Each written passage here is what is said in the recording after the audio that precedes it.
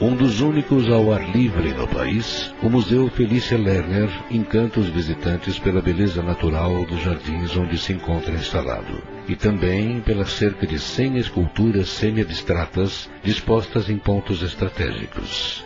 As obras da artista foram modeladas em bronze, granito e cimento branco, e sua tonalidade varia de acordo com a posição do Sol ou da Lua.